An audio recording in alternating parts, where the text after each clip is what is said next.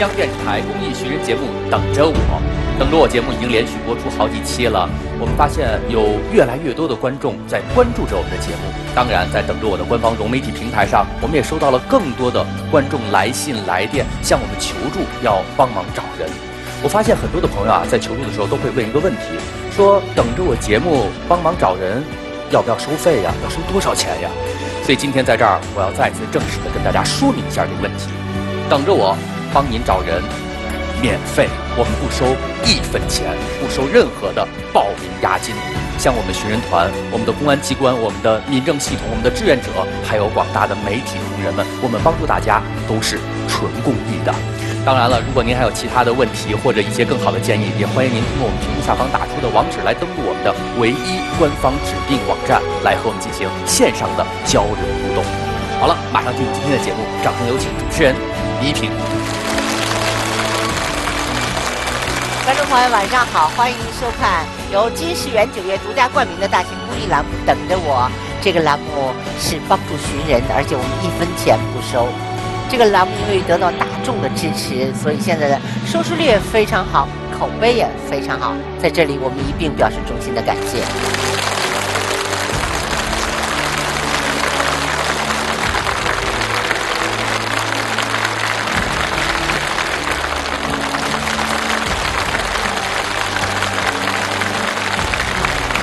我们来看一下今天的这位求助者是谁，我们能够帮他做什么？有请。我叫杨华，今年二十六岁。我五岁时失去了两个亲人，六岁时又失去了一个亲人，七岁时最后一个亲人也离开了我。我一个人过了十九年，在这十九年里，我常常都会想起他们。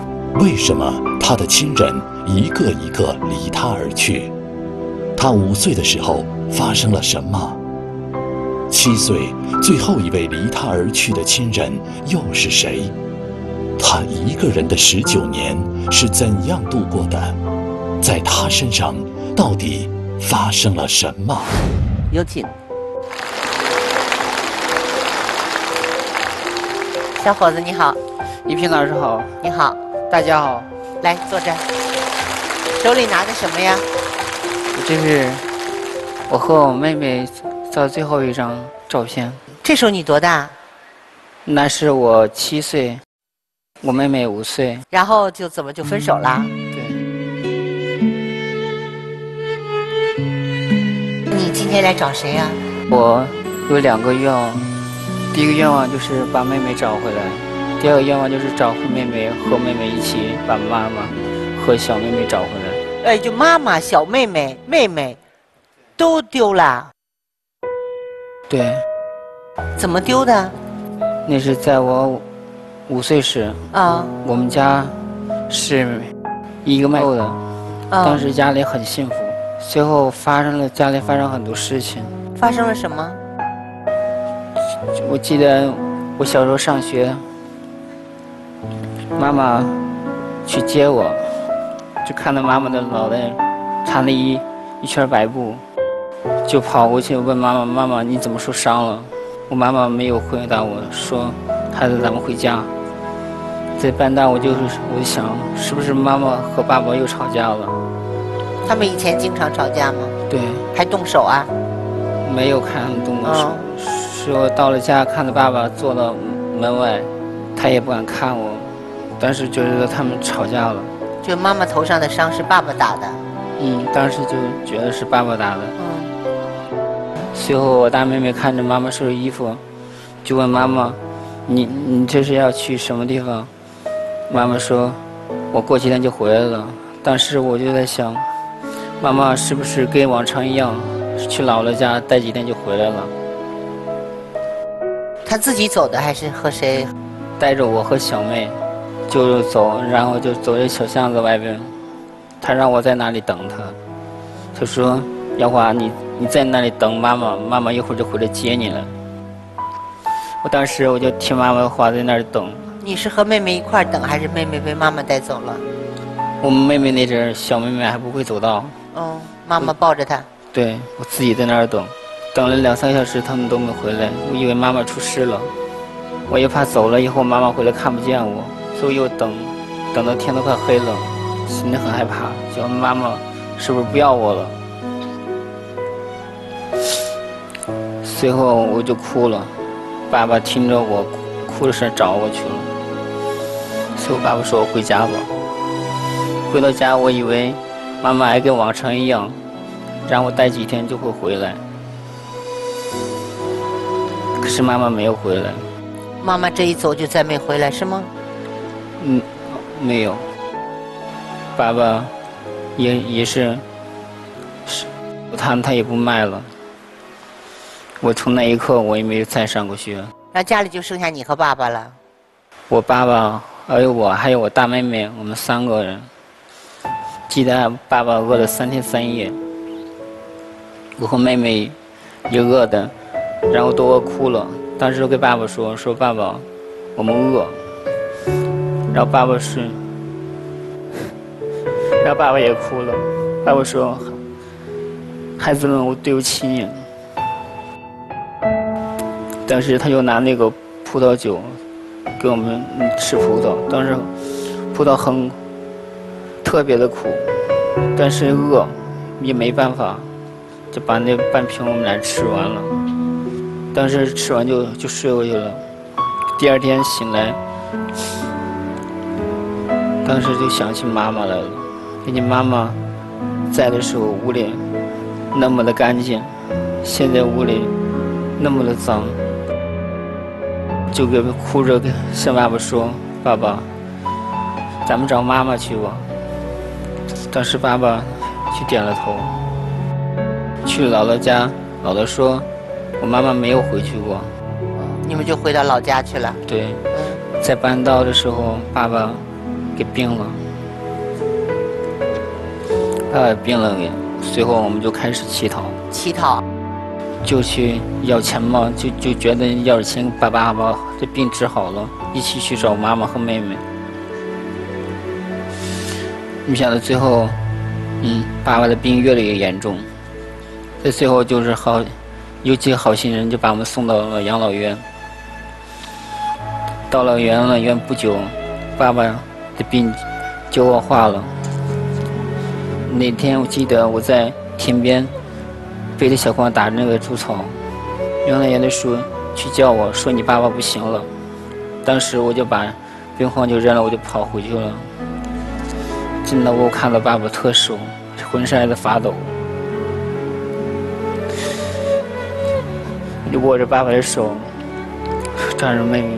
我爸爸告诉我，他说：“儿子，以后有人要去养你，你一定要听话，不许调皮。”当时我跟我爸爸说：“我说爸爸，我说你不是说过吗？我们要一起等妈妈回来。”随后他，他看着我，他想跟我说。但他说不出话来了。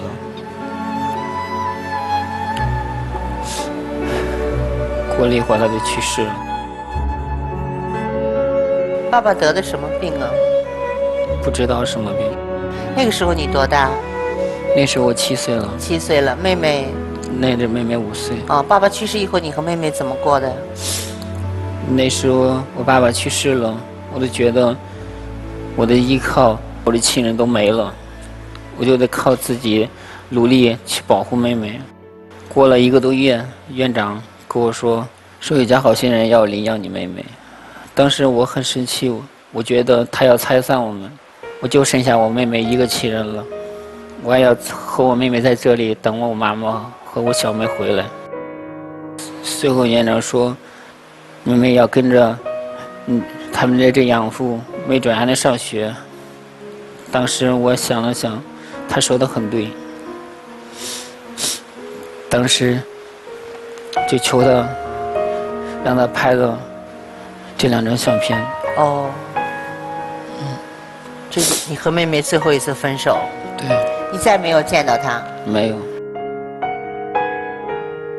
在杨华五岁时，妈妈因为家暴，带着一岁多的小妹离家，至今二十一年，音讯全无。六岁时，父亲重病去世，留下他和大妹相依为命。七岁时，唯一的大妹妹又被收养。短短三年时间，杨华先后失去四位血脉至亲，曾经幸福的家庭变得四分五裂。但也从那时起，小杨华就下定决心，一定要把这个家重新拼起。你为什么后来没去找啊？随后去找了，嗯那是我来到河北，嗯嗯，是院长把我送到河北，说河北有有一家老师要领养我。那刚来了，然后那老师他们说又不领养了。当时我的养父在旁边，养父说：“嗯，这大冬天的，你让这小孩去哪儿？”我最幸运的是遇见了我养父一家。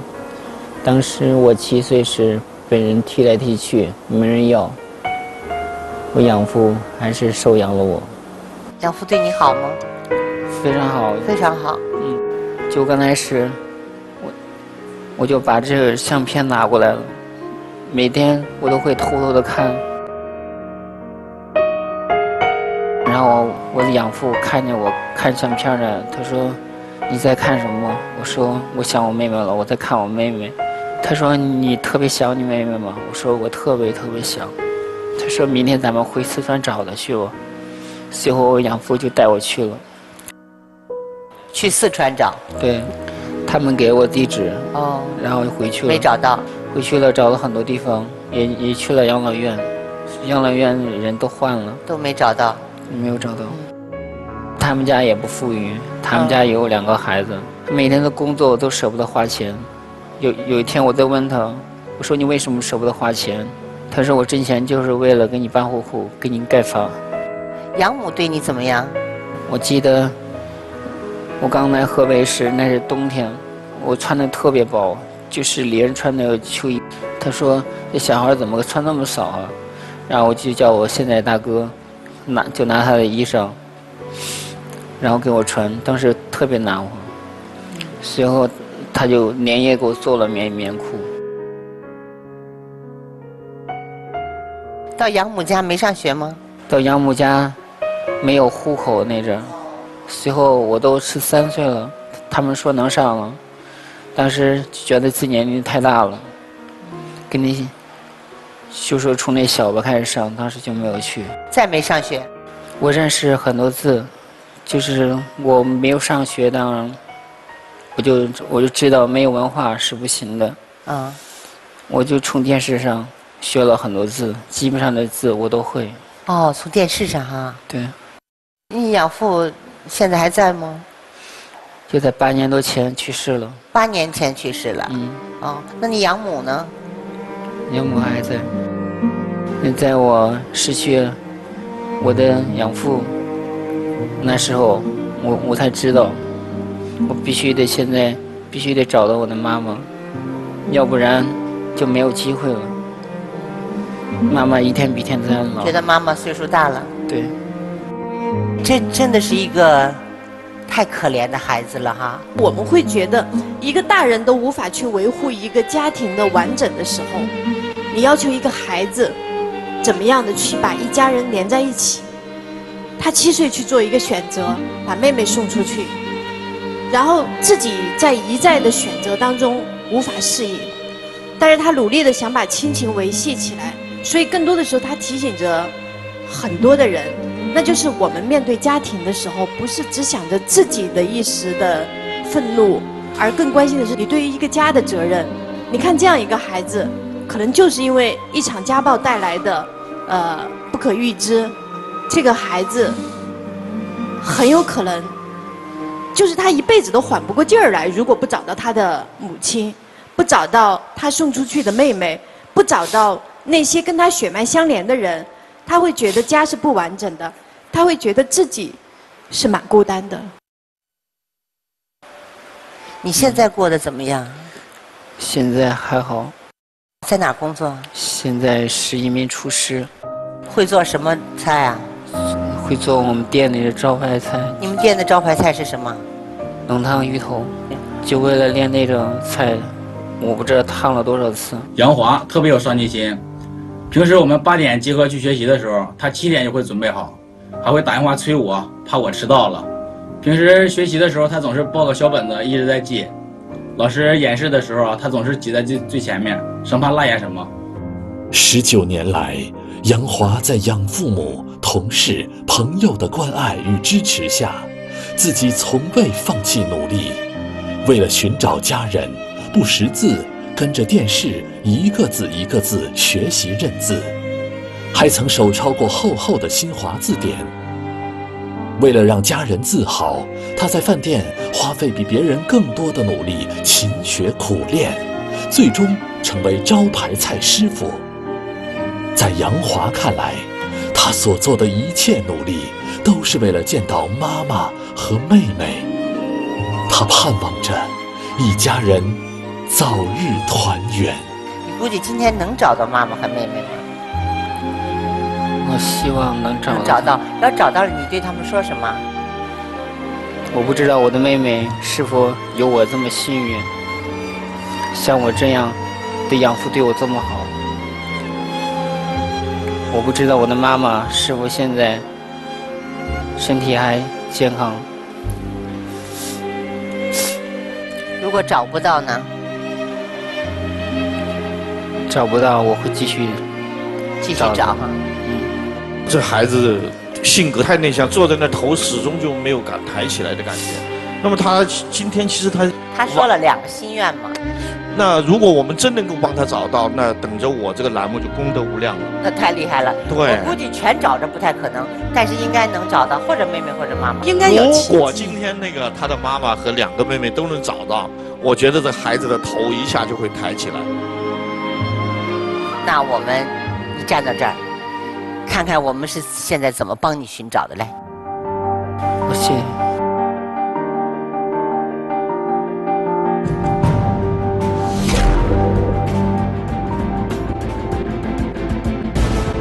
杨华你好，我是等着我寻人团的舒东。我们的融媒体平台上接到了你的寻人报名求助之后呢，我们也是第一时间帮你展开了寻找。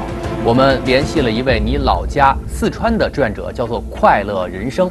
他呢，在当地帮你展开了搜寻。我通过杨华的求助信息，拿着你和你妹妹的照片，马上赶到了四川资阳综合凉风敬老院进行实地走访。当时照顾你父亲和你们兄妹的员工，有的已经离职，有的已经退休。根据老院长的回忆，收养你妹妹的人可能就在邻村。我们来到了这里，看看这里有没有你的妹妹。好，我们希望这扇大门为我们的求助者打开。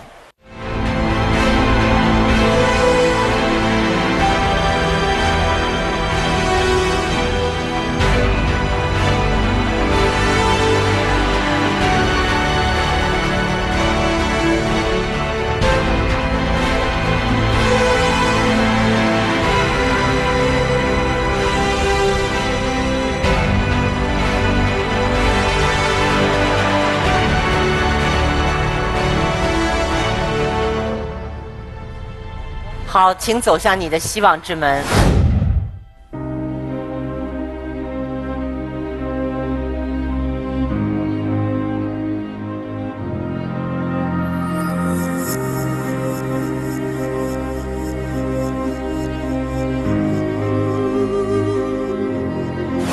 在这十九年里，我常常都会想起他们。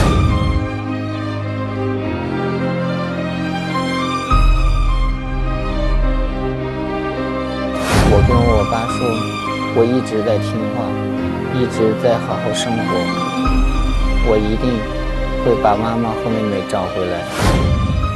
准备好了吗？准备好了。为缘寻找，为爱坚守，请开门。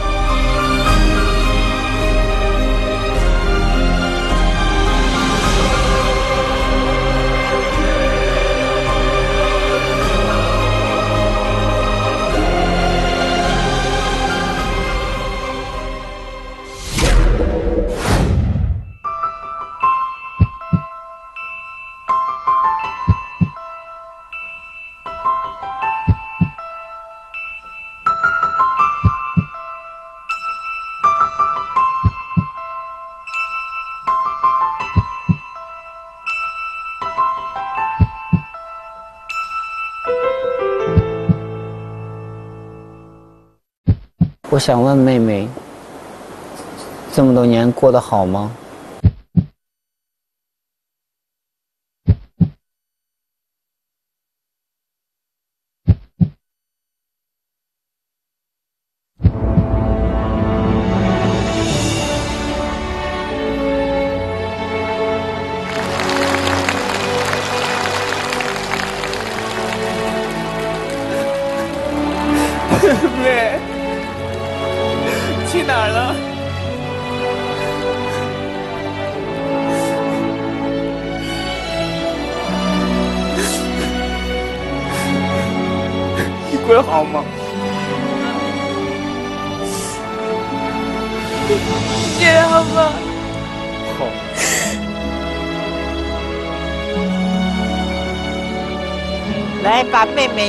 来，请。这是当年在养老院跟杨华分离的杨英。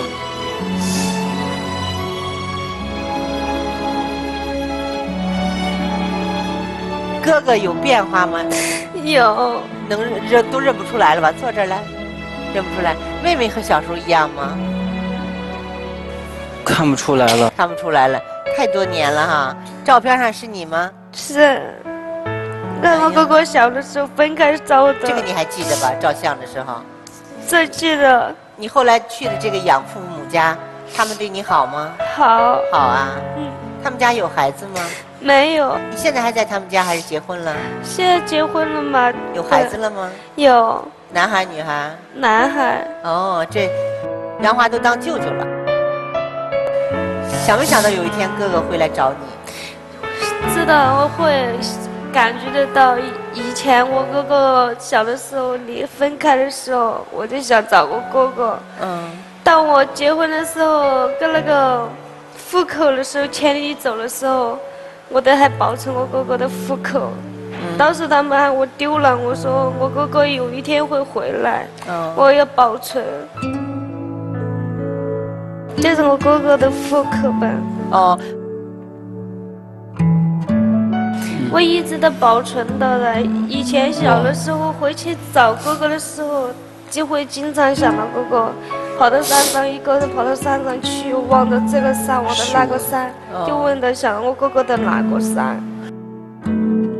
你知不知道你还有个妈妈，还有个妹妹？知道，知道我有个妈妈，一个妹妹。杨华，你记得妈妈的什么任何的线索和信息吗？或者对妈妈小时候的印象？我小时候上。大班的时候，我很淘气，那是我逃过一个礼拜的学，但是爸爸就罚我上外边跪着去，而妈妈就说孩子小，你让他跪着去，让他们同学看着很丢脸。但妈妈怎么说，爸爸也也是这么做了，但是妈妈还是做完饭还是叫我回去，然后说儿子。你腿很疼吧？当时心里特别的觉得妈妈是世界上最好的。还记得给我过生日，妈妈给我做了一大桌子好饭，和我的妹妹，我们一块儿过生日。初冬，你们有什么线索吗？后来我们也是通过志愿者的大量的走访，呃，我们希望今天能给给兄妹俩一个。最圆满的绝技，真的啊！好消息，好消息就是，哎呦，真受不了，喜悦太大了。今天就让你们把所有的愿望都实现，来走向你们的希望之门。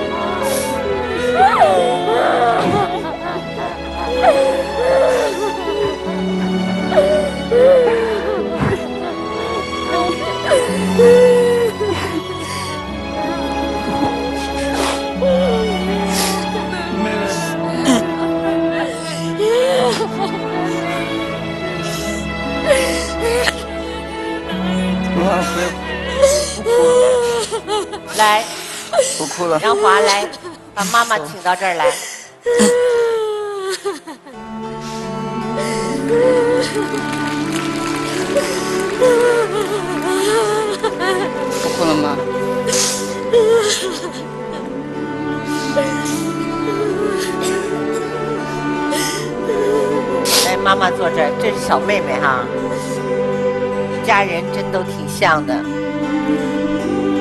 妈妈的样子还记得吗？记得。叫一声妈妈了吗？妈妈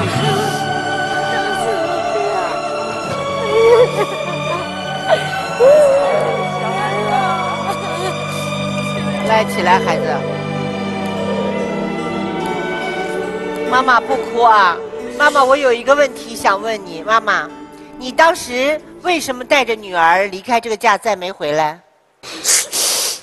当时我是找人贩子帮我骗到河南了。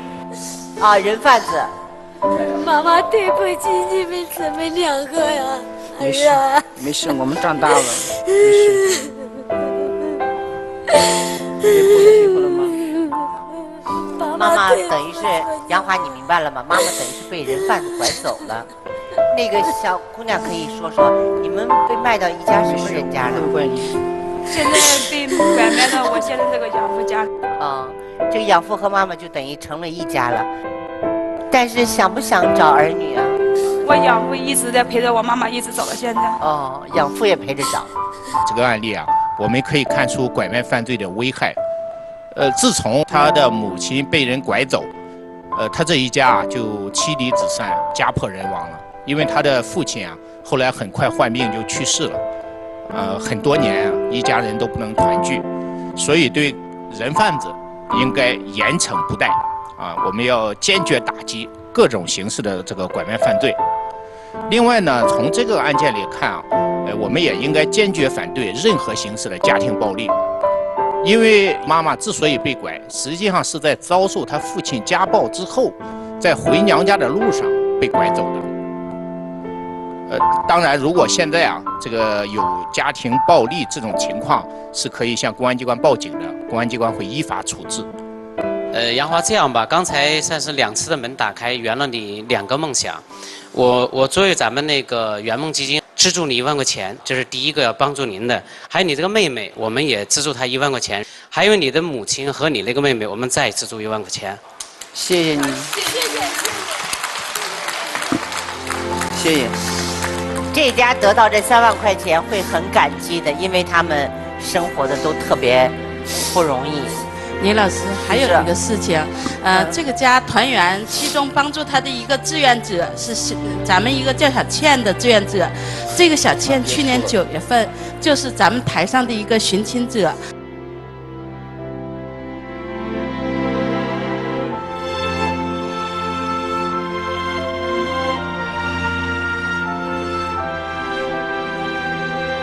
来寻找弟弟，咱们把弟弟找到了之后，他作为宝贝回家志愿者，如今他又帮助这一个家庭得以团圆。啊、小倩在吗？看到这家团圆，你很感慨吧，小倩？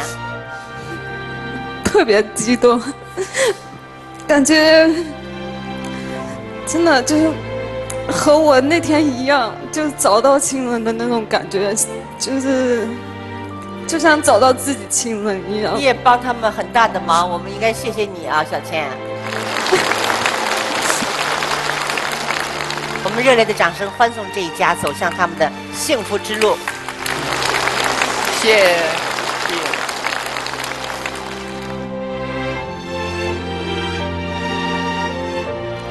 望着这个四分五裂的家庭终于团聚了，我们内心的温暖您是能够体会到的。我们觉得我们的工作再辛苦，但是有一个好的结果，我们很高兴。愿天下所有的人都能够这样的团聚，这样的温暖。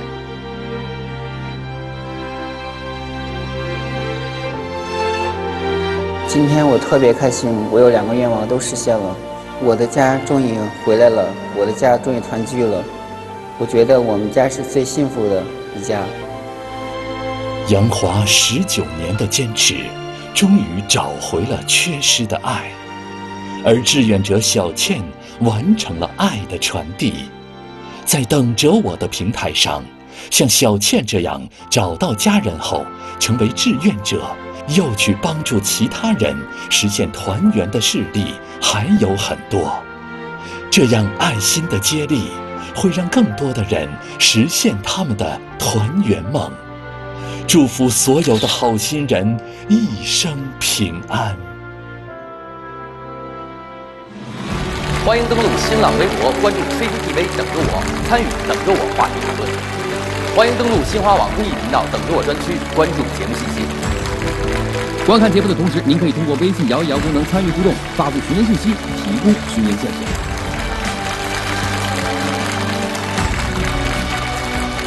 观众朋友，我们非常感谢公益合作伙伴一站式家庭 O2O 服务平台金色家园网对本栏目的大力支持，再次表示感谢。好，我们看看下一位求助者是谁。我叫蔡小明，来自江西宜春，来这里找一个二十七年前曾经对我有过很大很大恩情的一个姐姐。在小明一岁时，父亲去世，母亲带着他艰难生活。一位陌生姐姐的出现，让他此后的生活命运发生了巨大变化。如果没有她，可能我的人生也不会像现在这样这么平坦。二十七年前，究竟发生了什么？又是怎样的一位姐姐，让他思念至今？有请。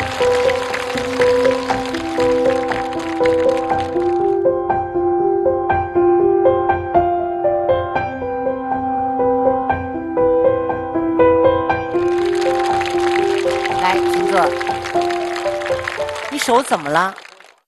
紧张。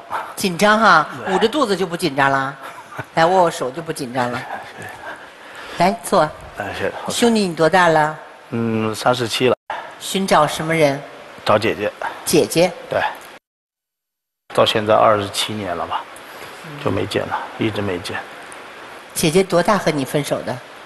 嗯，不是亲姐姐。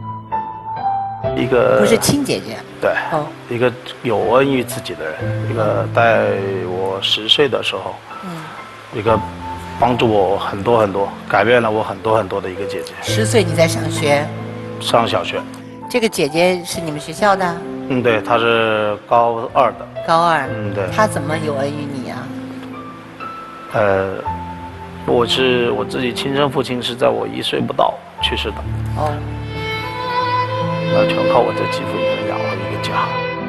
呃，那时候在学校是很调皮的一个人，一个本子是崭新的拿出去，一个崭新的本子拿回来。早上老师发的作业本基本上是没用过一张，所以就是挨打。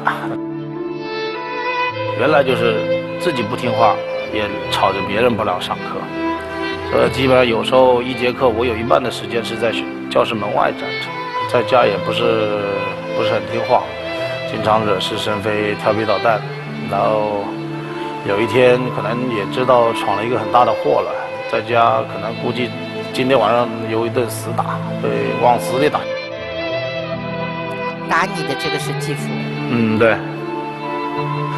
然后当天吃了晚饭，就感觉苗头不对了，可能家长也要动手吧，就拿着书包就跑出来了，就离家出走了。因为然后一个人跑到教室，然后在教室里面一个人在那哭。呃，因为他们的宿舍是在我教室的隔壁，那大概那时候九十十点钟吧，然后姐姐正好也下课，就听听着哭了吧，可能就敲门了。刚开始没敢开，怕家里找不来，因为本身你犯错了，然后你再跑出来，那一顿打，那就估计得半死半活啊，得打的。那就当时不敢开门，因为不知道是谁。过了大概半个小时了吧。他才敢才敢开门，因为确定了可能不是家里人，然后把教室门打开了，走进来的就是我现在要找的这个人，叫易彩虹，站在旁边就一直在开导，一直在说，哎，一个人跑出来，啊，家里人不知道吗？你犯了什么错？的，然后就把他源头啊跟他说了一下，然后在学校跟同学打架了，然后把人家头给打破了，那一系列的事情。然后姐姐就说：“啊，你现在你这样跑出来，你是不是觉得你又更不对了？”然后跟我说了一大，说了一大很大的道理，说了很多。然后说：“要不我帮你送回去吧？”刚开始不肯，不肯呢。然后他也说了很久，大概到了十一点多钟，然后可能心里也能接受了。哎呀，是啊，最少他把我带回去，起码今天晚上不挨打。明天什么事明天再说呗。就当天晚上就送回去了。然后。可能也太晚了，没没走到家就睡着了，然后就他们把我背回来了。第二天早上醒来的时候，我就知道，在他们宿舍上宿舍里面住了一个晚上。然后第二天母亲到学校来找了姐姐，然后跟妈妈沟通了，跟老师沟通了，家里也就没追究了这个事情吧。然后在以后的不断的在就在学校里面就非常非常的照顾我。包括吃啊、住啊、行啊这方面，因为我他是走读生，他就住在学校，然后有时候经常会问啊，现在今天下课要不要到姐姐这吃饭？然后经常打饭在学校，那时候家庭条件都不好，那九零年，那时候都都带那种用的罐头瓶子装的那个菜，自己带到学校去，然后。几个姐姐每人一罐，都到了吃饭的时候，就打一盆饭。那时候特能吃，吃一斤饭，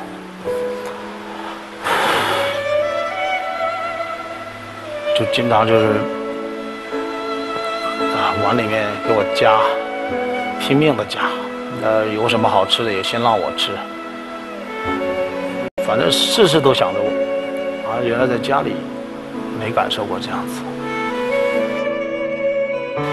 家里比较姐妹多，四姐妹，没感受过这种温暖。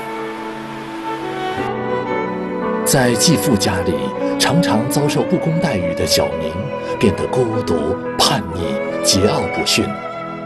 彩虹姐姐的帮助，让他感受到前所未有的关心和温暖。他开始努力改变，想做一个好孩子。基本上可以说隔三差五的，他就会去问老师：“小明现在怎么样？学习怎么样？在课堂上怎么样？”然后也经常找我，就老师今天说你不听话了，上课又是开始自己不学习，还吵同学了，啊，你怎么又不学习了？难道我原来跟你说的话你都不记得了？那时候听他的话胜过于听父母的话。那时候他说的话基本上跟现在说的还甚至一样，就他说了就我就能听。但是管不长时间，就可能说一次就管个三天五天的吧。慢慢的、慢慢的时间越来越长，也可能说一遍，哎，能管一个星期了，哎，再下次能管半个月。怕姐姐吗？怕。姐姐表扬过你吗？有一次作业做了，而且自己也没想过能拿个九十几分，这是我到现在从来没有过没有高分。他又给我另外在在食堂里打了一个菜，你看你今天得到老师表扬，对，老师表扬了你，姐姐也奖励你。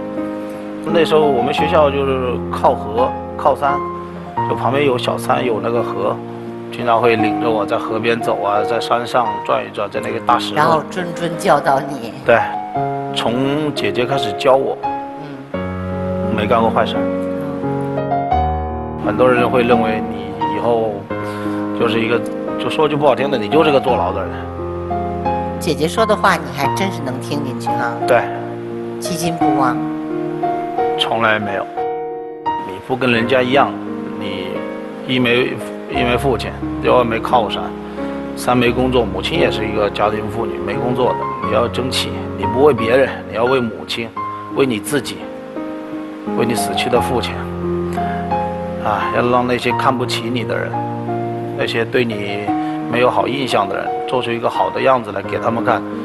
当年他们看错了你，你想过没有？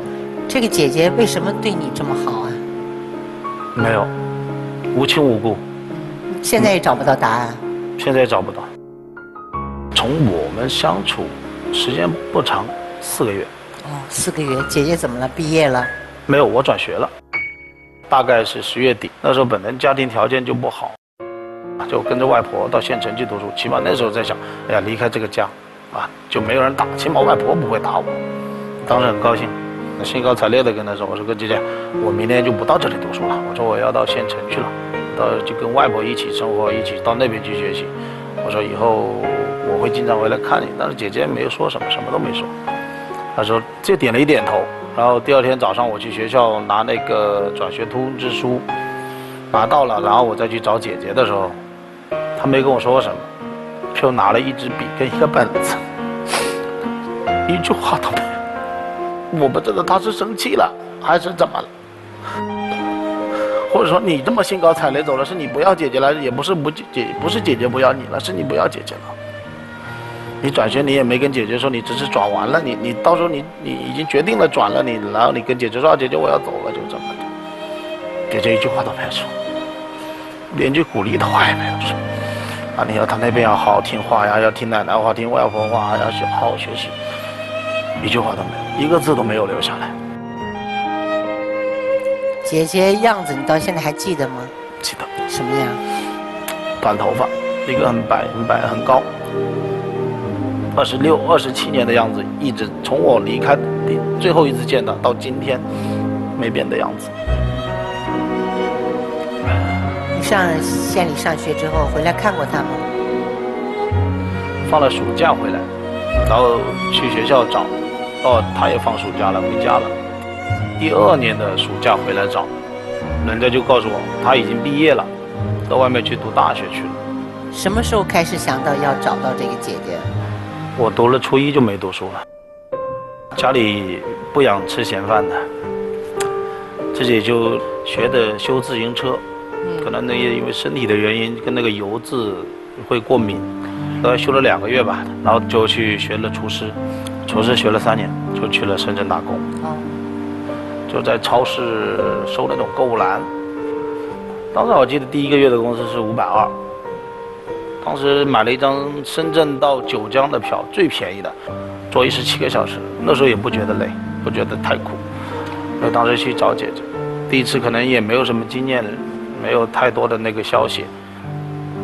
当时以为她还在读书呢，就跑到跑到那个地方去找。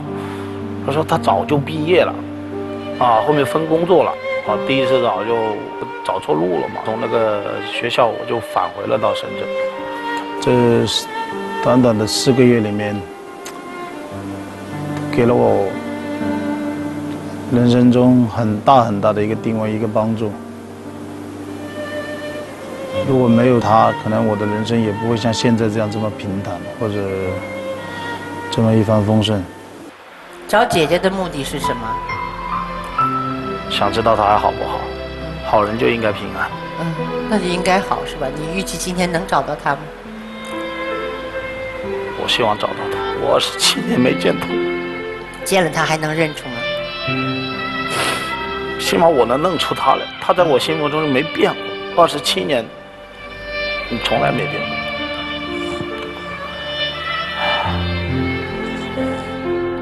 春薇，一个人生命中一个高中女孩改变了他。嗯，事实上，我们在很多的摇滚歌曲当中，你会发现特别多不羁的灵魂，一旦唱歌都会说“姐姐带我回家”，孩子会说“姐姐，我今晚会想你”。这个时候，你其实会发现是什么呢？就是在你的成长过程当中，有的时候不一定是长者或者是呃同龄人能给自己帮助，而是那些大概知道你可能缺什么的人在给自己一个帮助。他最大的一个伤心就是在于十岁，他是欢喜着告别，但是到最后他可能意识到那份欢喜是多么的不应该，是因为他觉得在不懂离别的时候，他轻易的离别了。但更重要的是，我相信他可能后面的日子。因为没有碰到跟姐姐一样的人，所以他越发觉得曾经的拥有是一种失落，所以他其实是给自己的感情在找原因。所以我倒觉得哈，不管姐姐能不能够找到，你自己要学会给自己疗伤。毕竟你已经三十七了，你要学会自己的一个成长。因为人生当中有些路真的得自己去面对。我相信你姐姐希望看到你的是一个特别坚强的向上的你。这个姐姐说的对吗？对，我觉得我更尊敬你的这一副感情，因为你在寻找童年，寻找温暖，寻找真情。因为你的成长，你走到今天，是靠这一份温暖支撑着你的。相信你今后的生活道路，也会寻找出温暖来支撑你未来的生活。我觉得你是一个非常好的一位。成功者在情感方面，看一看我们是怎么寻找的。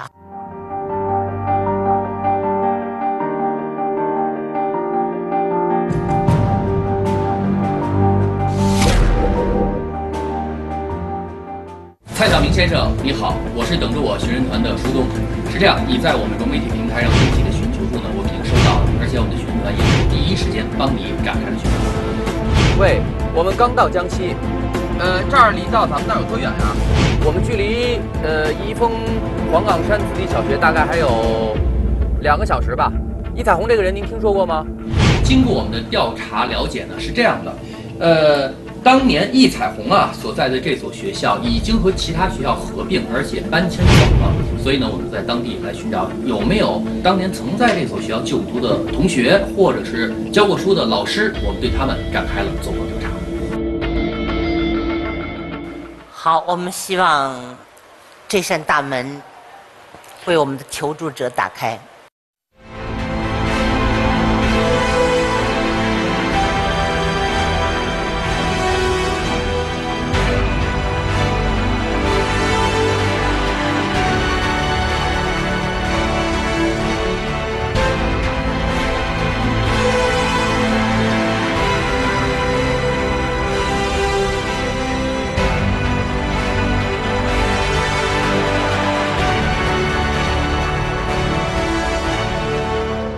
好，向着你的希望之门走去，请。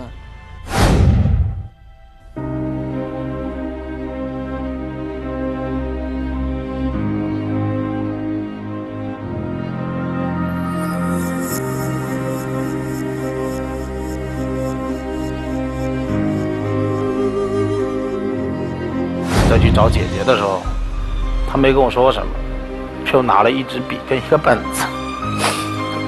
一句话都没有。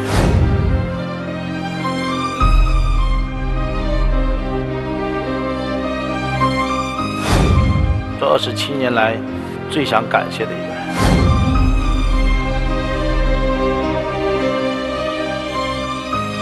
准备好了吗？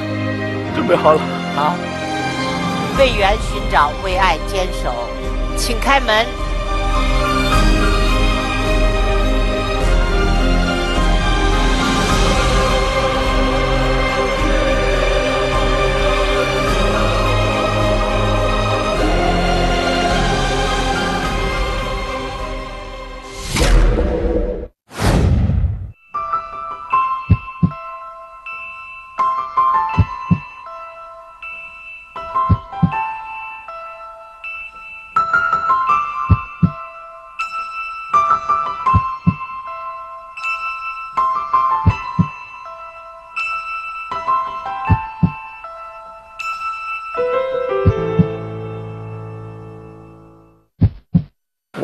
几年没见他，我就想问他：你为什么不找我？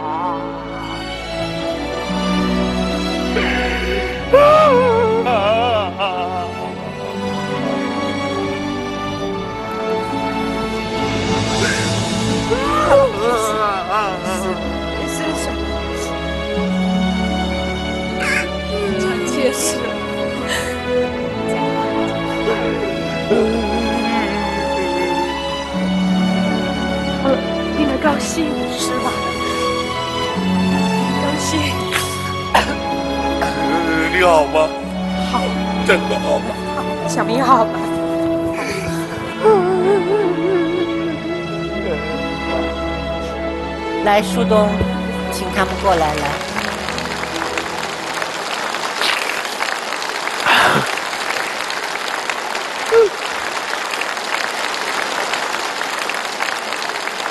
其实我想先说一句，大姐啊，今天这个相聚呢，特别的美好。刚才姐姐在后面看着我，彩虹姐姐好，哎，坐坐坐。大姐好，一直在笑着流泪，虽然很感动，但是特别高兴。姐姐说句心里话，这些年你还记得他吗？这弟弟一直在我心里，在你心里哈。我的手机里永远都有一条备忘，就是母校小明，不管换多少手机，都在里面，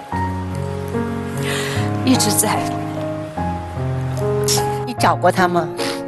嗯，我尝试去找他，但是原来的痕迹都没有了。没有了。因为跟他相处的时间很短，还有一些点点滴滴的事情。呃，一直记得，他那时候很瘦很黑，老是拖着鼻涕，呃，头发脏脏的，偶尔会带他到宿舍给他洗头，用那个杯子打水，那个那个泡泡脏水就要脸上流下来，流到背上，他他也会哇哇叫的，但是我们挺开心的。他为了这个分别的事情，我刚看到了。他说你一句话都没说，为什么？就是他跟你说他要转学了。其实我是一个自尊心很强的人，我觉得他的离开好像他不需要我了，所以有一个小小的误会。真的。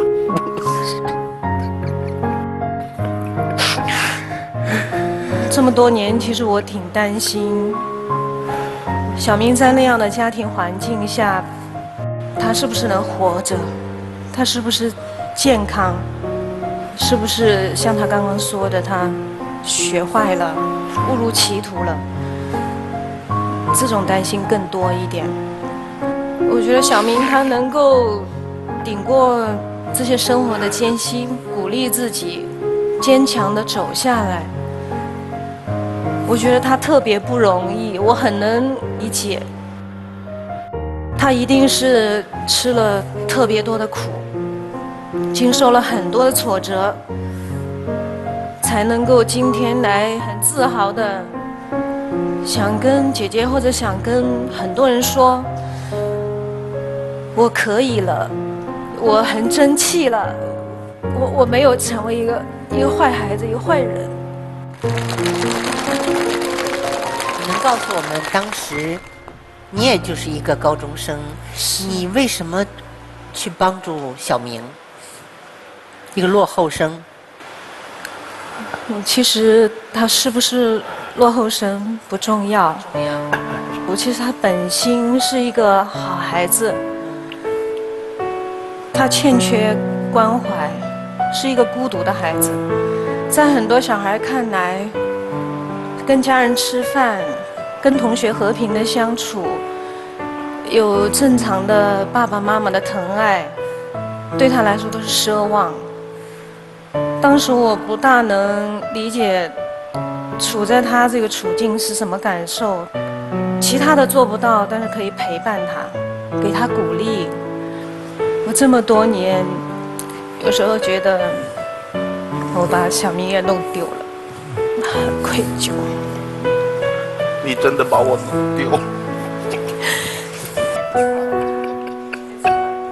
小明，泣不成声了。你告诉我，姐姐还是你十岁的时候见的那个样子吗？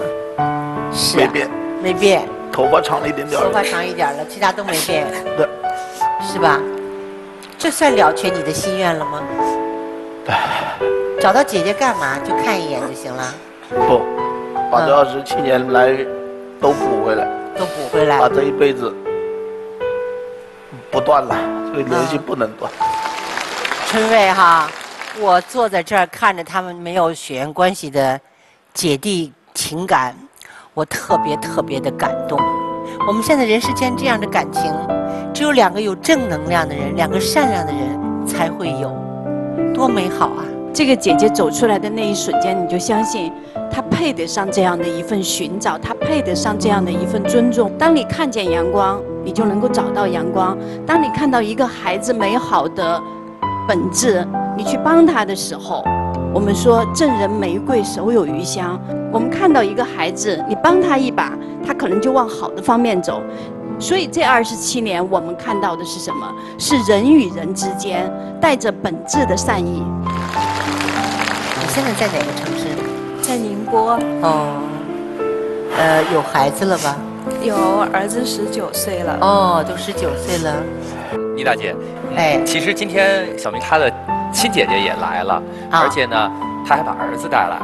啊，来来，我们请小明姐姐上来，有请。彩虹姐，太感恩你了，生命中的贵人。抱着儿子跟姐姐坐下说。叫姑姑。叫姑姑没有？叫大姑，叫大姑吧。抱抱。大姑吧。嗯。姐姐是看到这个场景怎么想？我为我弟弟高兴，真的。在小明一岁的时候，我爸爸就因为白血病去世了。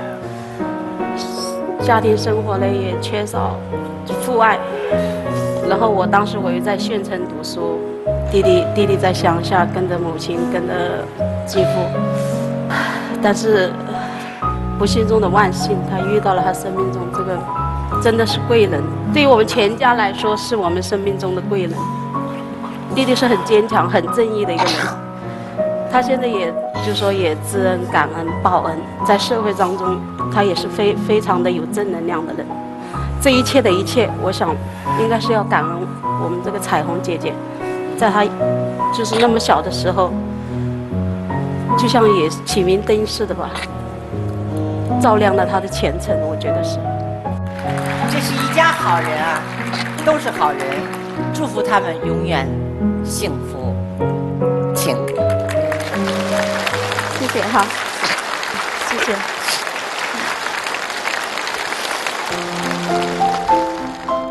二十七年前，他们没有血缘关系；二十七年后，他们却胜似亲人。心怀善良，懂得感恩，带着雨后彩虹的灿烂与光明，让我们祝福两家人和美幸福。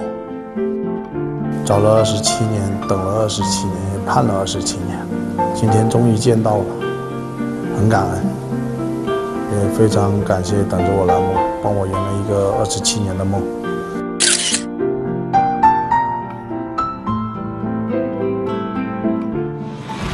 欢迎登录新浪微博，关注 CCTV，等着我参与，等着我话题讨论。欢迎登录手机百度，搜索“等着我”相关信息。观看节目的同时，您可以通过微信摇一摇功能参与互动，发布询问信息，提供询问线索。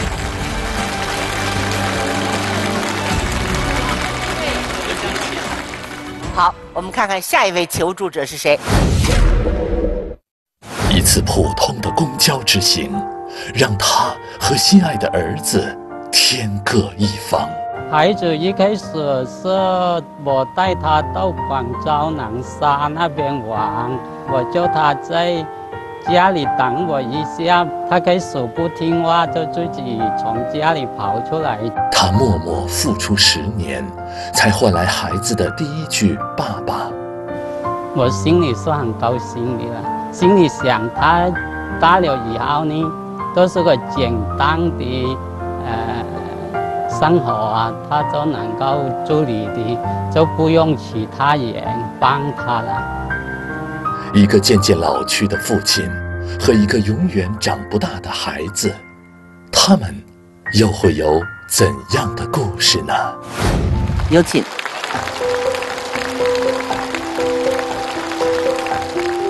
林老师好你好这位弟弟请坐。你带的什么呢？我带着那个是可乐，那个是饼干的。可乐和饼干。啊，来，请坐。好的。你找谁？我找我的孩子，叫做王月松。哦，找你儿子啊？是啊。儿子什么时候丢的？二零一二年。哦，孩子那时候多大？孩子那个时候是十四岁。他们不上学吗？十四岁。啊，那个孩子和别的孩子不一样的。怎么不一样？哎，他有那个三天的呃唐氏综合症。哦，唐氏综合症的那种孩子。是啊。哦，你带在身边，怎么就丢了呢？就是六月二十二夜那天，刚刚吃完那个早餐，我叫他坐在那个房子里等我一下，我到厕所。大便出来，带他到外边玩一下，但是他不听话，他自己偷偷偷偷开门走出来的，就走丢了。啊，就走丢了。他那个智障到什么程度？知道自己叫什么，家在哪儿，这都知道吗？哎，都不知道的。那个孩子早熟的时候，我是很着急的。嗯。因为孩子和别人不相同，别的孩子你是。两三个月都可以把那个台抬起来了吧？他还不会抬啊！他到四个月的时候，他那个头一直是水水着，啊，都抬不起头。照顾这样的孩子困难吗？他认为他的那个孩子和别的孩子不一样，一开始好像是那个走路啊、冲凉啊、呃、擦牙啊、大小便啊，啊。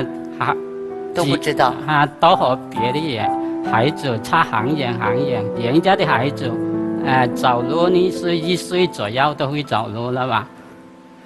啊，他到四五岁才会走路的，所以在没有走路前呢，啊，他那个小便啊、大便啊，都啊都是呃，翻呃。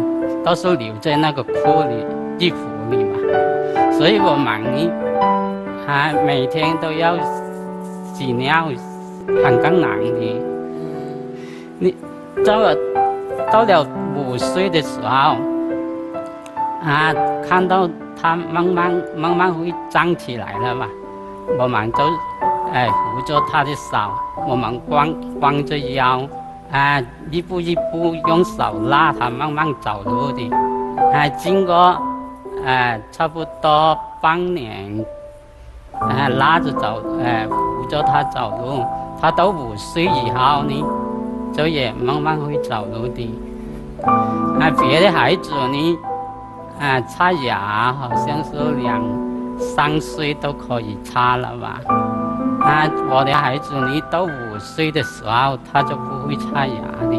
一开始我买那个牙膏、牙刷给他擦牙，他就是放在那个口中，啊，一下子就拿出来了。那我们要一呃，要拉着拉着他的手，啊，从左擦，从右擦，从上从下，啊，到走过。啊，慢慢拉着手，呃，三四个月，他才会慢慢的学着擦牙的。会叫爸爸吗？会叫，呃，十岁那个时候都会叫的。去绑上那个上河呢，他到了八岁以后都自己会处理的。我心里是很高兴的了，心里想他大了以后呢，都是个简单的。呃，生活啊，他都能够处理的，就不用其他人帮他了。那他丢了以后，你去那些孤儿院呐，包括一些收容所啊、救护站都找过吗？我一直都是天天找他。开始考虑到，如果他是碰到好人呢，啊，那个好人会把他送到救助站去吧。如果是呃。碰到坏人呢，人家会把他带走去干那些坏事的啦？那你现在找孩子就没法工作了吧？没法打工了？哎，一开始那个半年呢，我就不打工，那个到呃二年、一三年呢，因为不打工都没有路费嘛，找人要路费，要火车嘛，所以呢，呃也一边打工一边找孩子的。大哥，有没有人劝你算了吧？孩子已经丢了。孩子丢了，有一些人是这样说，我是这样呃考虑的。那个孩子呢，呃，到今年你已经十八岁了吧？因为这种孩子呢，呃，他没有那个生活能力，他在外边呢，呃是没有那个生存能力的，所以呢，我要呃一定就能找。都把他找回来，我要我活一天，我都养他一天嘛。活着一天就养一天，真是个好父亲。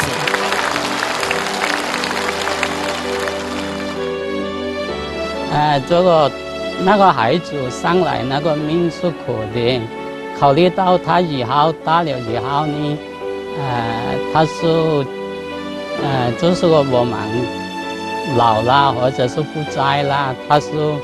比那个小的时候是更苦的，所以小的时候呢，我要给多一点爱给他的，啊，这样如果我才能就是个过得了心。那个这个王叶松爸爸吧，他找孩子最后都找到哪儿？上吉林，上我们通话去网站去了。那天哈，其实正好我也在通话哈，我们当时就是也是感觉挺心酸的。他进去了之后呢，呃，背了一箱芋头，还背了个大菠萝蜜，给我们送的。完了就是说哈，完了说话的时候啊，那眼眼泪啊一直在眼圈转转的。呃，坐了几十个小时的硬板车，后来我们当时也说，也感觉他对孩子这种爱和找孩子这种迫切。后来走的时候，我又给他拿了一千块钱，我说你买票回去，我说你呢，这个孩子你放心，我说我们也会尽呃加倍努力帮你找。孩子到十来岁以后呢，呃，他就慢慢的要懂一点事，好像是简单的活。都可以干。我家就是靠近有一个草区嘛，那个草区里边有一种美美货的车啊，人家买了后把那个空车放在那个呃草区那个路呃那个呃进口那个地方呢，他在那个草区上玩，你看到人家的空车就推集中给那个草区，他可以简单的干一点活。的另一个呢，在我们农村啊，每一年那个正月十四都搞那个闹元宵啊，啊，他都可以参参加。村里每一个呃参加的人都给十块钱嘛，他拿到十块钱，你也能到呃拿回家里嘛。另一个家里有人有客人亲戚呀过来呢，他也会。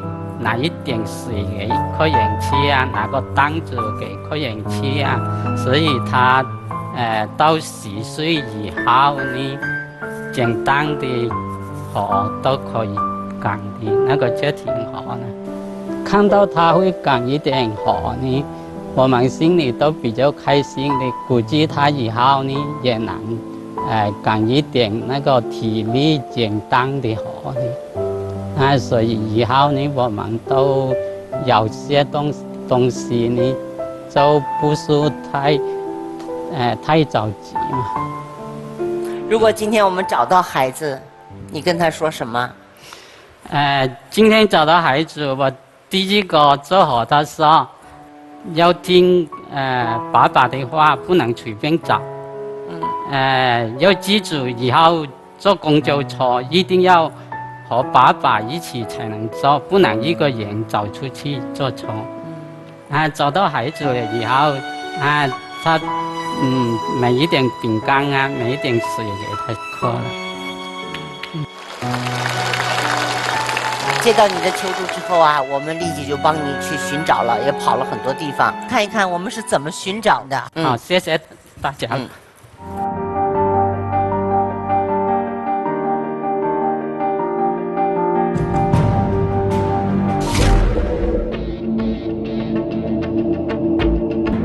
王俊修大哥，你好，我是等着我寻人团的舒东。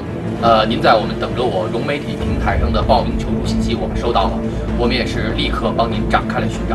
根据您提供的儿子的具体情况呢，我们是在全国的民政系统的救助站为您展开了排查。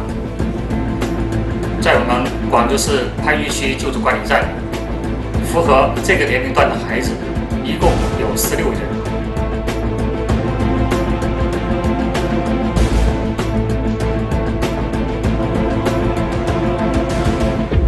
根据你提供的线索，我们逐一进行对比。好，我们希望这扇大门为我们的求助者打开。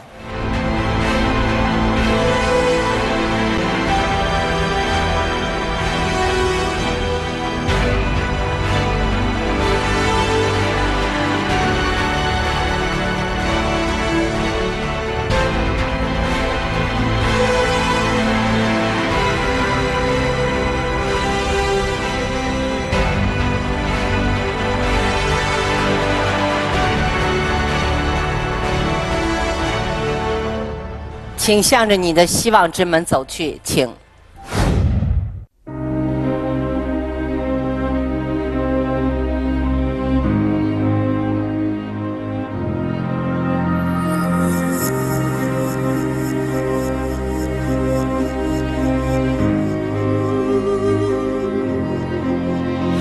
要听呃爸爸的话，不能随便找。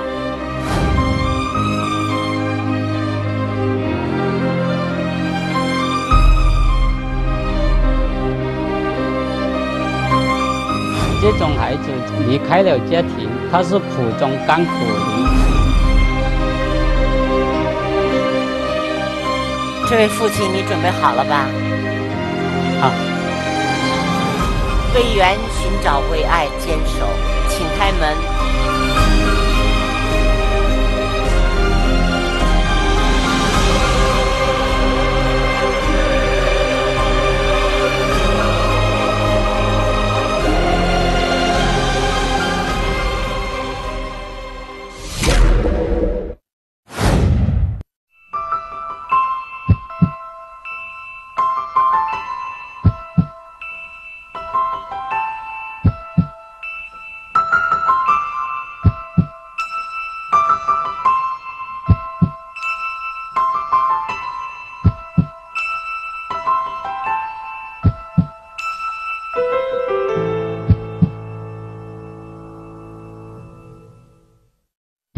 我一定要把他找回来。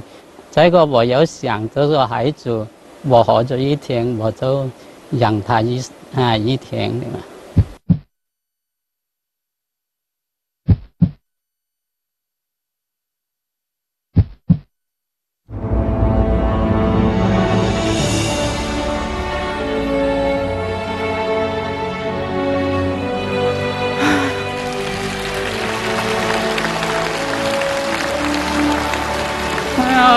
呀，爽！nhận 到爸爸啦！啊认到爸爸啦！啊，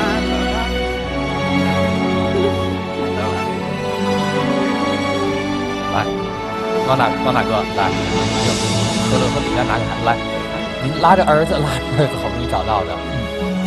要要接回来吧，送啊是吧？路娘爸爸吧？啊？能认的，能认的。来，孟站长，给您介绍一下啊。呃，这一位呢是我们广州市公安局的全警官。啊，在我们民政系统找到了 疑似您的孩子之后呢，我们是第一时间为他进行了采血和比对。通过比对呢，核实黄叶松呢就是你的小孩。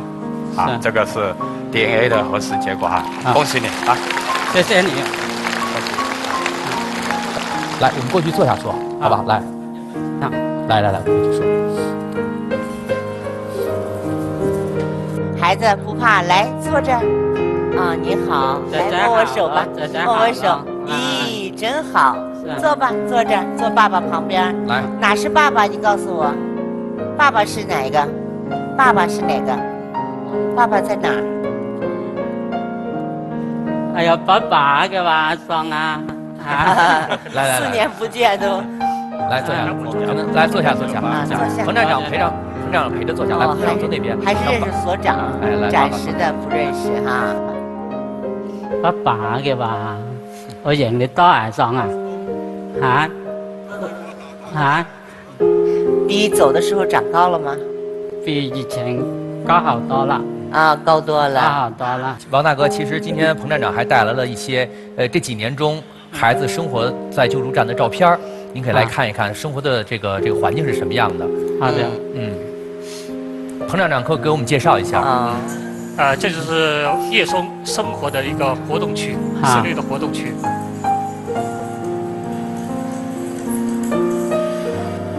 这是室外的一个活动场所。啊。还挺有劲儿的。嗯，这是吃饭的地方，饭堂。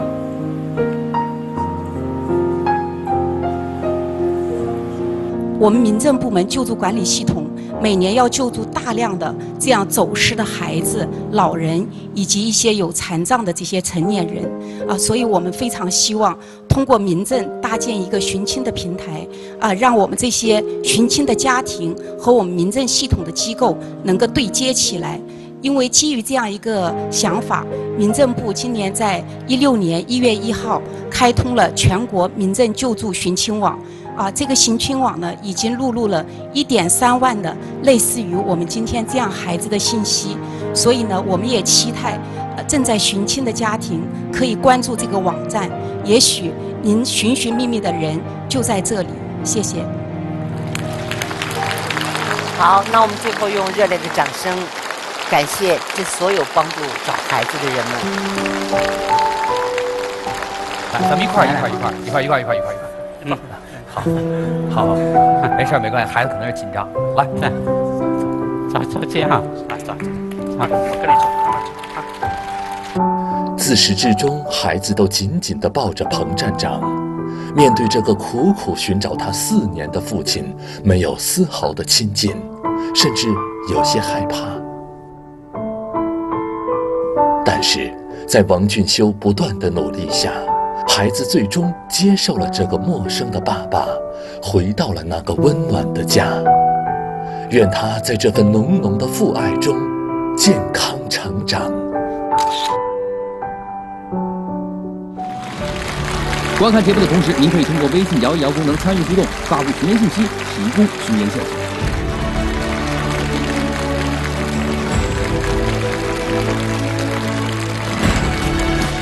欢迎您收看由金世园酒店独家冠名的大型公益栏目《等着我》。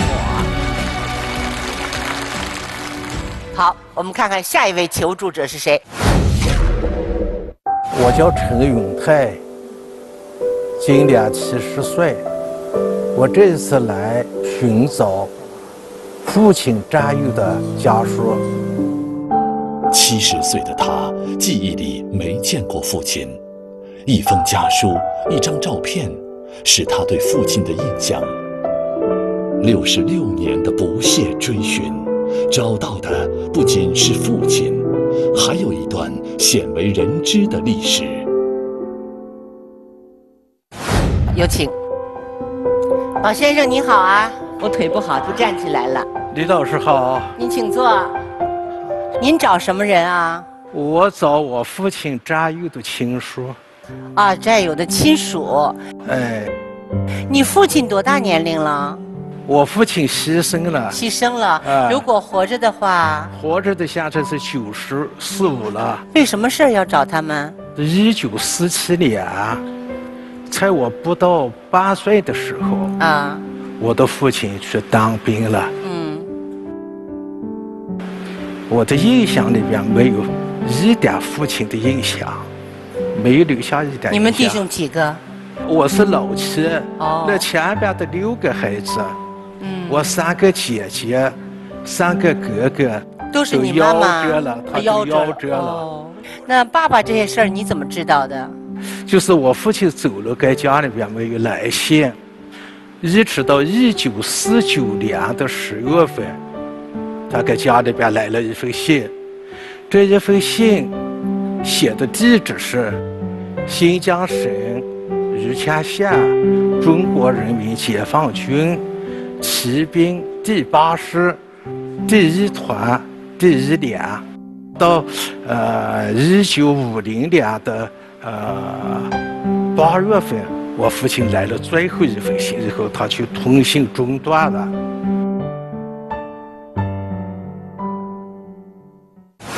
中断以后，我的爷爷也千方百计着打听儿子的消息。爷爷去世以后啊，家里边就只有我和母亲两个人。在一起艰难的生活着。父亲虽然再无音讯，但是对他的影响却在生活里无处不在。我三四岁的时候，我看见别人的孩子，父亲带着他们都在玩耍，但是我没有爸爸。我就问我的母亲：“我说别的孩子有爸爸，为什么我没有爸？”母亲跟我说：“你的爸爸当兵去了，你等着，他会回来的。”但是一直等了，到一九五六年的时候，我们那个地方时间的久旱，以前打的粮食下了一回旱，不够全家人吃。但是每每当小麦收获以后，我的母亲把那个粮食，他就要送到粮站交公粮。我说妈妈，我们都没有吃的，我们都饿着肚子，你为什么把咱们的粮食要交公粮？母亲说，那是交给你爸爸打仗吃的。这是我的母亲，她是小小教女人。母亲不识字，没有文化。母亲的想法就是让我上几天学，十几个字，好去寻找我的爸爸。为了解决我的学费问题，他爬到那个九米高的杨树上。去砍砍那个树枝，然后把树枝砍成柴，拿到街道上去换钱。到了一九六二年的时候，我看见我母亲背着我在一个房子里边看我父亲的信，因为他不识字，所以他看信，实际上他是抚摸那个信，来。记得对父亲的那个思念。当了他发现我看着的时候，他把那个信他就收起来了。但是当时我已经十五岁了，上初中了，在我的脑子里边，我就下了决心，我说我一定要想办法把我的爸爸要找回来。所以我就想起了。向国防部写信，写信的时候没有信纸啊，没有钱买邮票，所以我把我家的一个柜子上一个铜拉手、铜环，我把那个铜环就偷偷的拆下来，拿到了街道上卖给了供销社，我记得卖了一毛钱。国防部这个信寄出以后啊，我每一集我要去邮局里边看有没有我父亲的信。终于我在快台上看到了一份写着陈永泰收的一封信。我说我终于得到了我父亲的消息，看来，但是那个信我不敢拆呀。如果我把信打开了，说我的父亲牺牲了，那我的心里难受，我也给我我母亲也不好交代。所以吧，我把那个信放在我的兜里边，我就走到一个比较疲惫的地方，把那个心打开，一看，父亲在进军西藏的过程中牺牲了。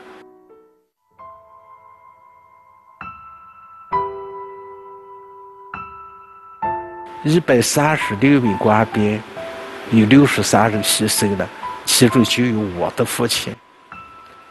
这个信我拿到家里边以后，我非常纠结。我既想让我母亲等了十多年的这个信息，让她很快就知道，但是我又怕我的母亲精神上、感情上接受不了。当时我的母亲。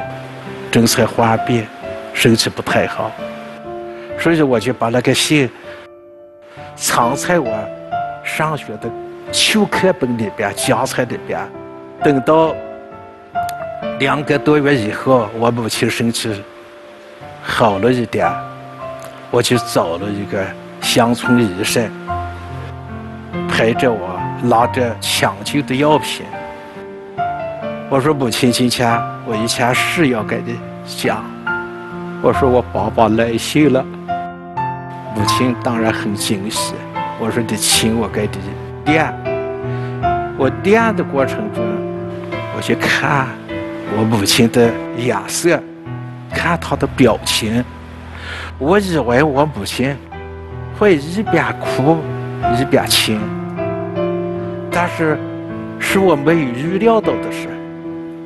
我母亲亲的是非常的认真，而且表情非常的严肃，非常的平静。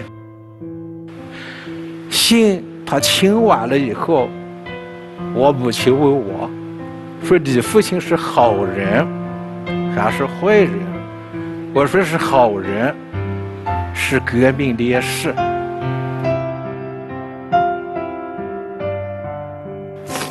我母亲亲了以后说：“好人就好，好人就好。”过了一段时间，我母亲亲自操办了祭奠的父亲的活动。在这个仪式上，母亲请人写了一篇很长的祭文。在祭文里边写了他把我抓养大的情况。写了他思念亲人的情况。当把那个祭文涂完的时候，我的母亲哭了，而且哭着很伤心。我也理解我的母亲用这一个仪式寄托了他的哀思，同时给我父亲做了一个圆满的交代。他的心。解脱了。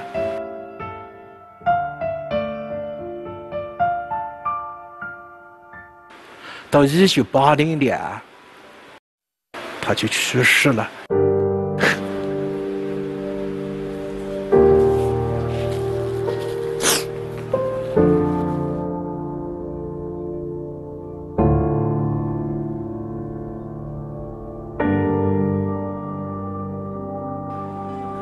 妈妈在世的时候留没留下什么遗愿？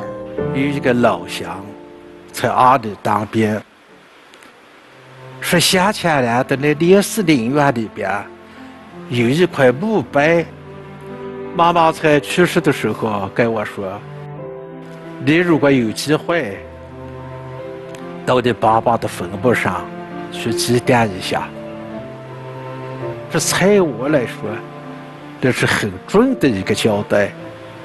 老先生，你什么时候想到要去祭拜你的父亲？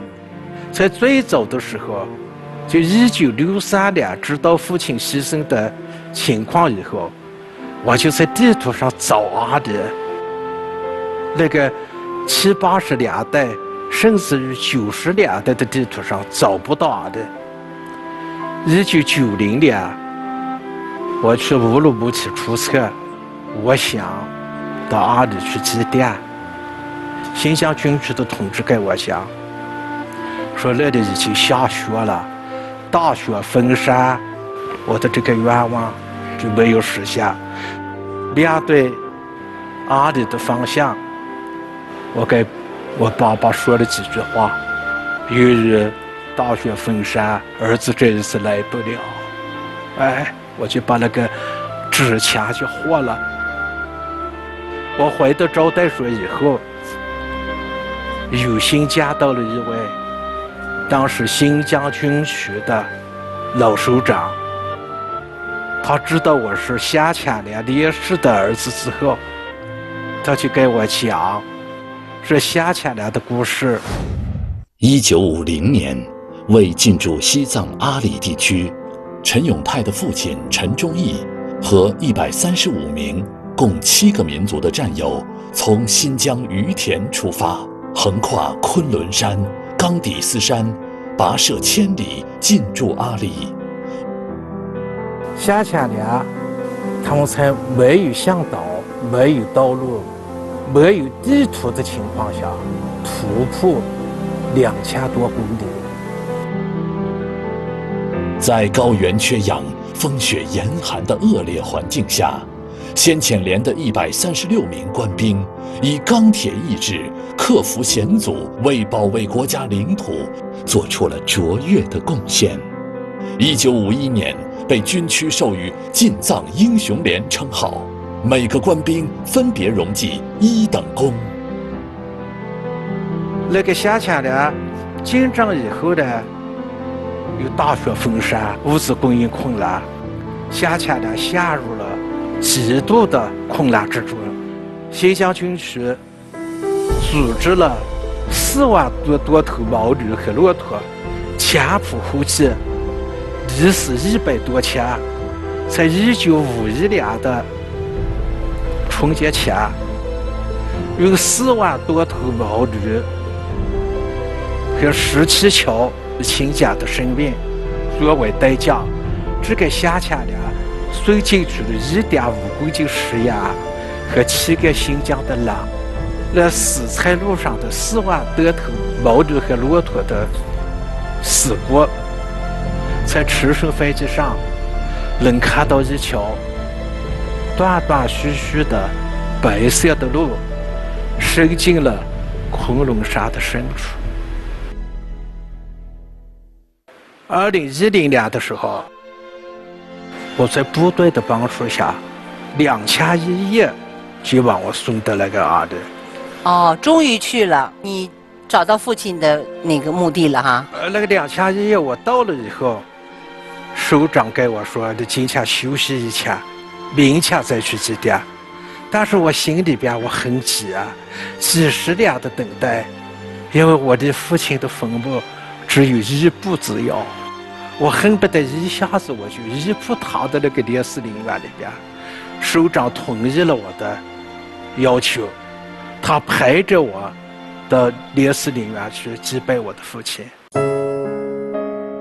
当我进入那个烈士陵园的时候，我就想着，我说啊，我终于来了，来到了这个海拔世界上海拔最高的烈士陵园。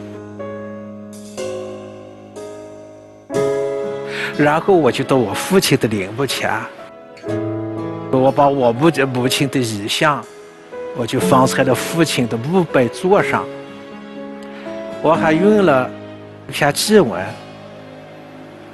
向父亲宣读了母亲状养我的家乡，讲了我家里边的情况，请他放心。当时我站在那个墓碑前，我感，因为我从来没享受过父爱，我一下子感觉到，好像父亲父亲。把我抱在他的怀里，我才哭，他才哭。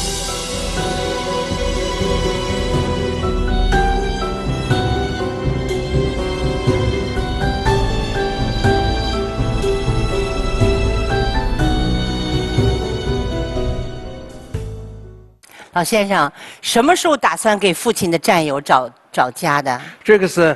就是二零零九年的那一次活动上啊，有一位援藏的老干部啊，他带着我的父亲是夏千年的烈士以后，所以他跟我说：“你找你父亲那样不容易。”说可能他们的亲人都不知道牺牲的情况。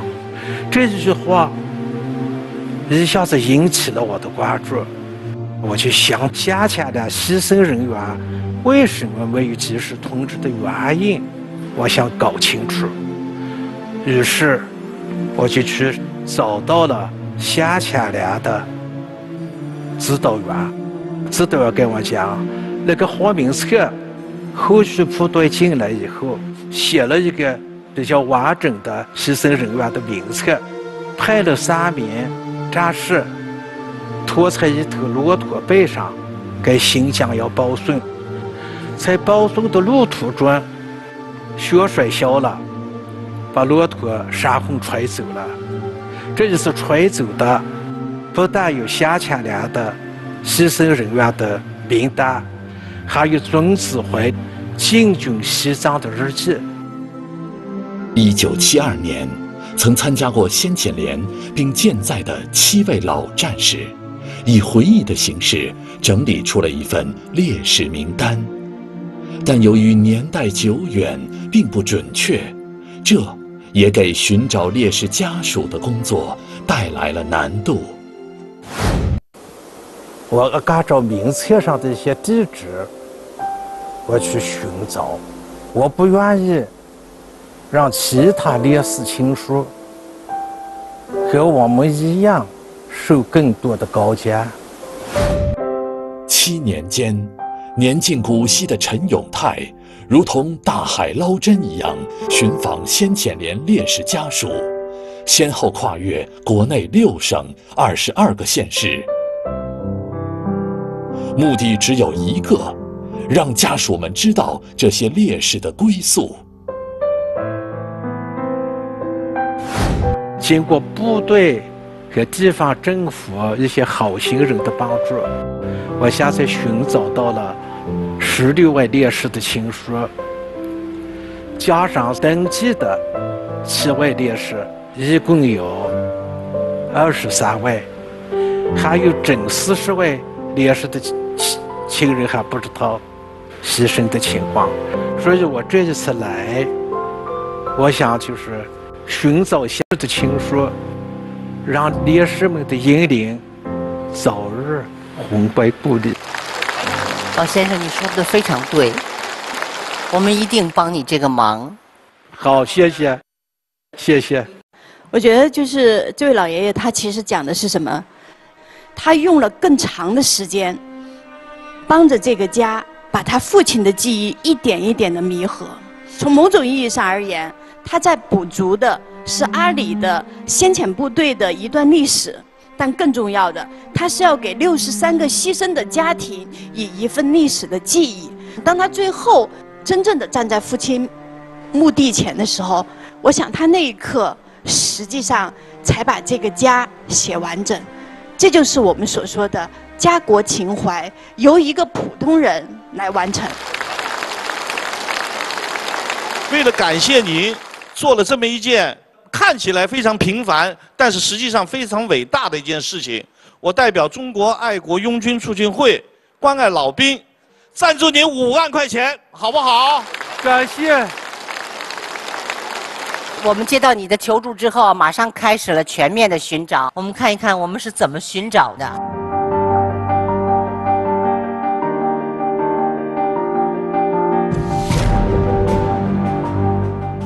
陈永泰叔叔您好，我是等着我寻人团的舒东。您在我们融媒体平台上登记的寻人求助，我们已经收到了。根据相关的线索呢，我们的寻人团也是立即为您展开了寻找。我们已经与地方民政还有地方媒体取得了联系，我们还利用我们栏目的融媒体平台呢，为您发布了相关的寻人信息。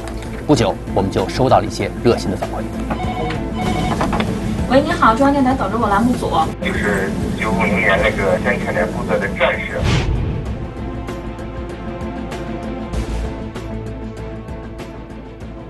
我们希望这扇大门为我们的求助者打开。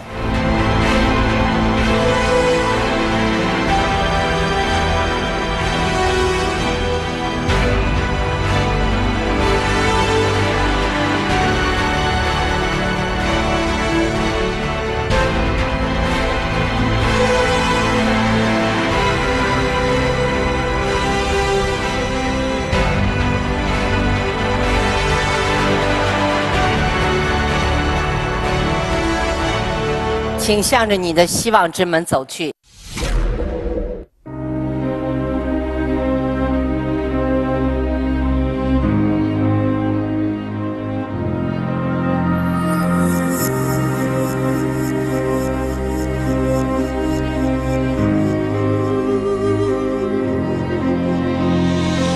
母亲想父亲的那个情况，我历历在目。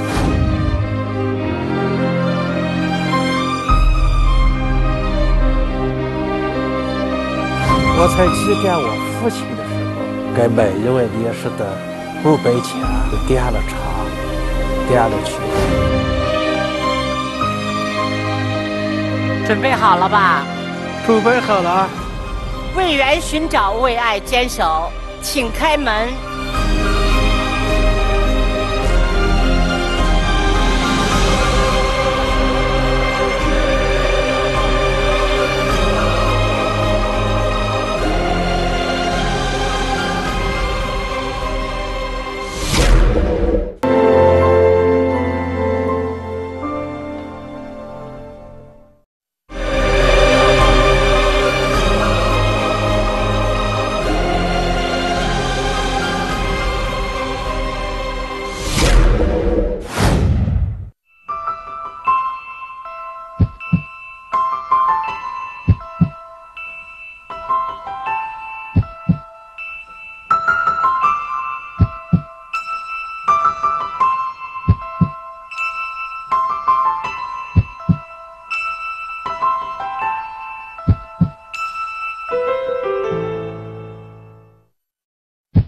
还有四十人的情书没有找到，让烈士们的英灵早日魂归故里。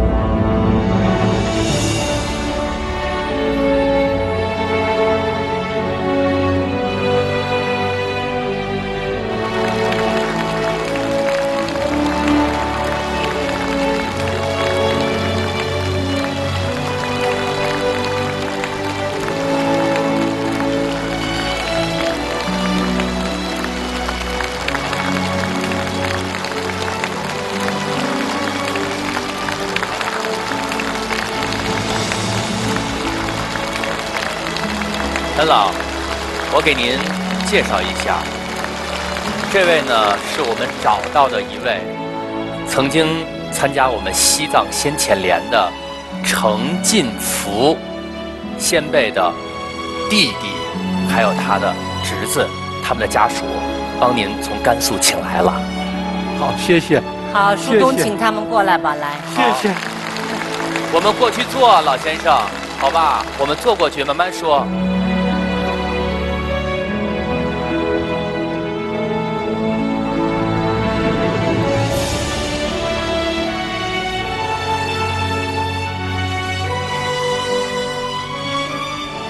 老先生，请坐呀。这个虽然你们之间都相互不认识，来坐，请坐。但是是不是一见如故啊？对我，我寻找了六年时间。哦。终于你们帮我找到了一位。我们会陆陆续续帮你找到的。谢谢。你们找到一位就加上我的一位，我就放心了。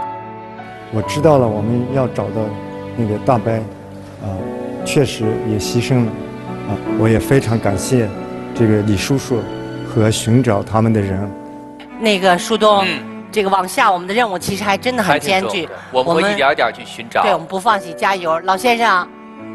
带着他们下去慢慢聊，我们会继续为您寻找。好好，谢谢。放心。谢谢，感谢，感谢。多年的坚持，在今天。又添上了团圆的一笔。能见到你们，心里边非常高兴。我要跟你告诉，你们的亲人的坟墓，我到哪里去？见到了，有机会可以到哪里去，完成你们一生的愿望。也希望通过我们的配合，把没有找到的烈士的亲属，再能够找到他们，给他们的烈属一个交代。这是家属的期盼，更是烈士们的遗愿。希望在大家的共同努力下，剩余的三十九位烈士也能找到家人，魂归故里。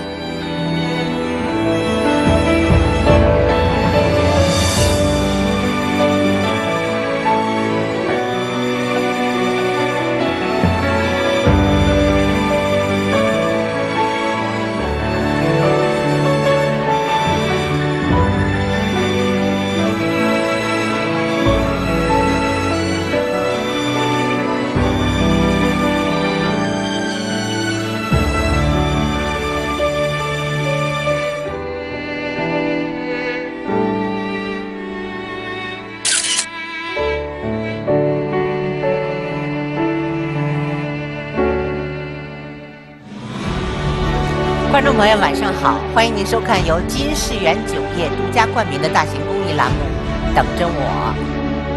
我们非常感谢公益合作伙伴一站式家庭 O2O 服务平台金色家园网对本栏目的大力支持，再次表示感谢。好，我们看看下一位求助者是谁，有请。等着我是由中央电视台打造的全媒体公益寻人平台。节目组不会以任何名义、任何借口收取任何费用，包括所谓的保证金。一切打着“等着我”栏目组的旗号向寻人者收取费用的，都属于违法行为。如遇到此类情况，请立即报警。如果您有寻人需求，也可以登录“宝贝回家”寻子网或加入“等着我”官方 QQ 接待群进行登记。